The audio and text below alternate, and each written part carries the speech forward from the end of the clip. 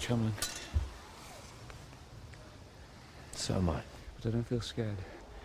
I feel that this day was foretold that no matter what we face,